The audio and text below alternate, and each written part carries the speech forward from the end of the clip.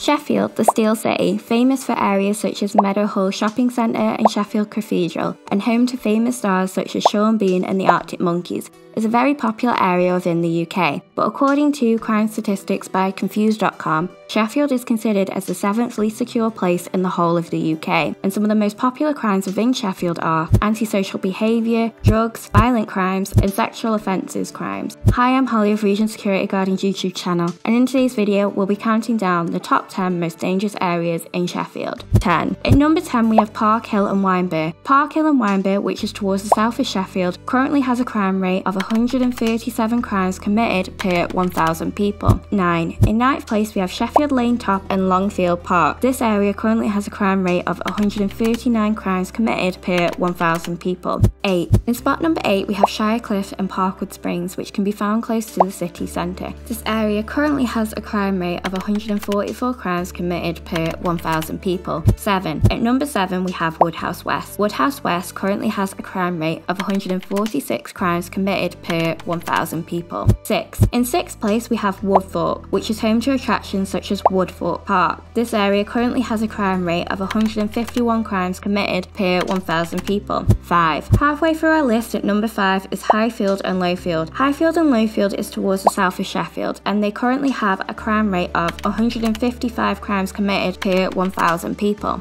4. In fourth place is Burnt Greaves and Grimesthorpe. This area currently has a crime rate of 164 crimes committed per 1,000 people. 3.